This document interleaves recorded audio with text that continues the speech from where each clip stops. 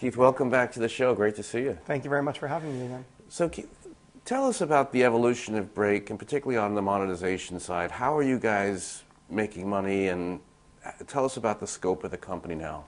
So, Break is an ad-supported uh, company uh, as a whole. I think over the last couple of years, we've seen great success uh, overall, and I think it's been driven by a couple of things. One, uh, advertiser recognition. In a transformation we made uh, from essentially a single property video site, which was break.com, which in 05, uh, which is all we really were, uh, into a true new media company uh, in the sense that we're actively producing, licensing, acquiring content, and then distributing that content across a group of highly trafficked sites that we own and operate, as well as uh, a, a, proprietary video network that we've built up over the years. Um, and we monetize very effectively because of the large scale we've uh, grown over the years, as well as the quality of the content which we create for the young male audience. Great. So tell us about you know the um, monetization of the video in particular. How does that work? Uh, I know you do branded, you do yeah. in-stream. Tech, talk, talk about that for a minute.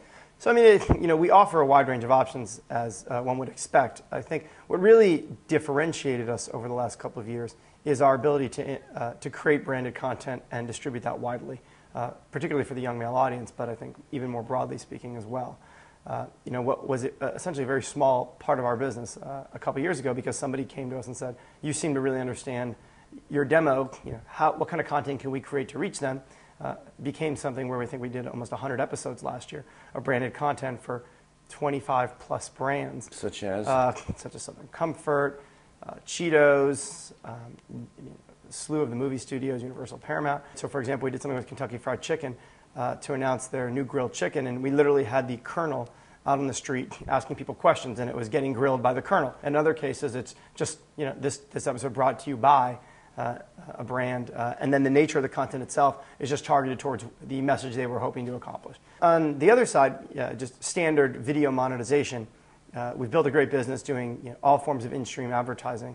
Uh, you know, we've seen a lot of increase in pre-roll and, and video bugs, uh, and I think what's really exciting about this year is there's a, going to be continued evolution in the type of units that run. I think we're seeing a lot more interest in interactive pre-roll, for example, uh, which I believe will grow from a, a fairly non-existent business two years ago into a real business this year. The flip side of that is, which is you know, sort of scary in a lot of cases, is there's yet to emerge a set of standards for in-stream video advertising that uh, I think everyone can really rely on from a you know, sales perspective. So the benefit of our medium, as I think most people uh, know at this point, is you can do just about anything. The downside of our medium is that you can do just about anything. So the emergence of standards becomes that much more complicated.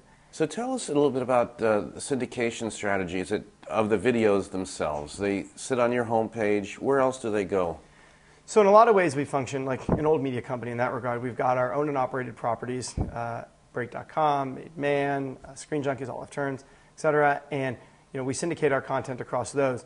Secondarily, we've just got this network of other properties that we work with where we syndicate out content and advertising, uh, whether it's through embeds or specific sections on their site. Uh, and we've managed to to grow that piece successfully. But you know, we're very fortunate in the sense that our own properties drive enough reach to make the economics of producing content work and the economics of producing branded content work for our advertising partners. So the video network is really just bonus, and it's just a way of increasing the scale. We're the fifth or sixth largest uh, video network right now, reaching north of 50 million people per month, uh, and you know, have a potential reach of almost a billion uh, videos a month. So, according to ComScore. How are your CPMS, and how do you sell advertisers your audience?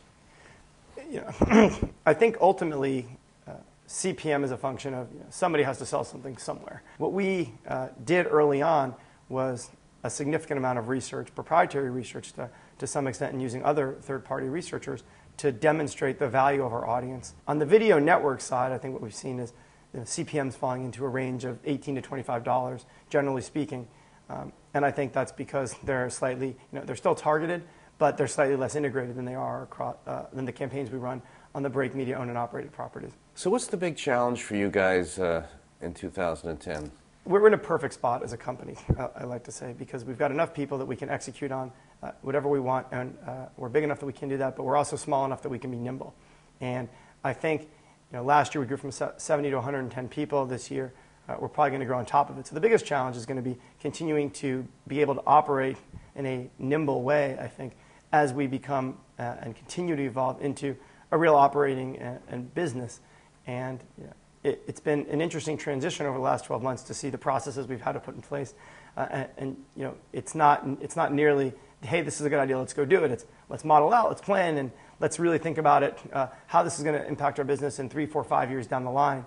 And I think that's both fun, but it's also a challenge as we grow because you know, it's just different than the way it was. And most of the people that we have have been with us uh, from the beginning and to a certain extent. And so you know, it's just a change, change in the way we all think of, of the business, honestly. Great. Well, thanks for coming and uh, congratulations. Thank on you very much. Thanks for the having me. progress. Fantastic. Appreciate it.